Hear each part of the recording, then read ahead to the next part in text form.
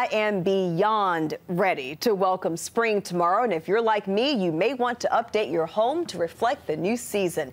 Interior designer Howard Eason joins me now with some ideas on how to do just that. It's great to have you here, Howard. It's great to be here. So let's talk about furniture, some things that we can do. You've got some really pretty examples here. Yes, absolutely. So an inexpensive way to update furniture is through pillows, okay. and that's bringing in a lot of color. Mm -hmm. So we know that chocolate is the neutral for winter yeah. and fall. But let's get rid of that. Our oh. new neutral out of here, chocolate is gray. Gray is oh. the happening thing now for oh. neutrals. Okay. So as far as pillows, you want to make sure that you have texture mm -hmm. and also pattern. That okay. will give you more impact. It will become artistic on your couch. So I could mix this nice gray pattern with this turquoise and white? Absolutely, because turquoise okay. is the color as well. So if you want to go with a pop, go with turquoise. Okay, let's talk about, um, you've got some nice artwork here. Yes, like one of the things I like to do is travel and I collect artwork. Okay. Well, of course, you know, sometimes artwork can read a little dark. Yeah. And winter light like this one. Mm -hmm. So what I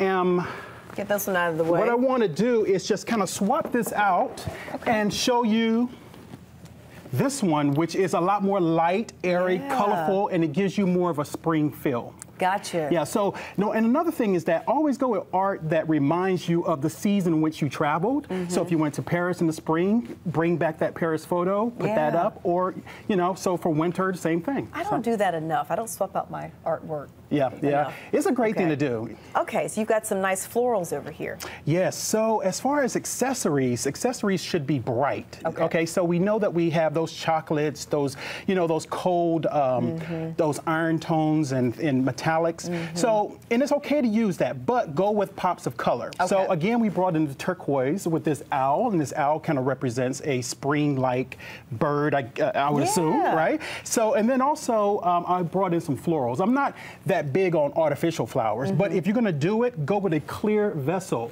so that it looks the part. Right. Yeah. So it looks authentic. Right? It looks authentic, exactly. And then one of my um, one of my cheats here is when I do um, staging is that I use clear um, dish liquid to go in there because it doesn't evaporate as much as water. So, and that, you still get that designer look. That is a great sheet. I'd never heard of that, Howard.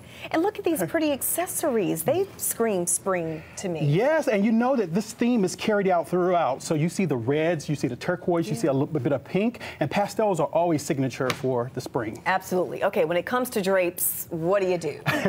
so drapes, yeah. So here we go with the chocolate neutral again. So what you want to do, and these are um, silk and uh, what you want to do is just swap them out. They do have texture, but they don't have personality. Gotcha. So the thing that you want to do is go with a lighter tone, go with something that has pattern. So we went with a stripe. A stripe will give you the illusion that the room is a lot taller than it is. Oh. So yeah, so that's a great transition right into spring with going with gold. Okay, what's that down there on the end? Okay, so at the end, so we're transitioning our shower curtains as well. Okay. Because with shower curtains, we don't have a lot of space and wall space to mm -hmm add artwork. So let's do it through the shower curtain. Nice. So with the first one, we have a winter look. It's a winter fall look. Mm -hmm. So and it, and it can transition into spring as well because it has the greens and the oranges.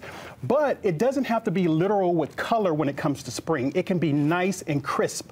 And again, we're going with a signature gray. Yeah. Because gray is very clean and crisp and that reminds you of spring. You're so consistent. Look at you with gray in your suit jacket. Howard, these are all great ideas. Thank you so much. Thank you.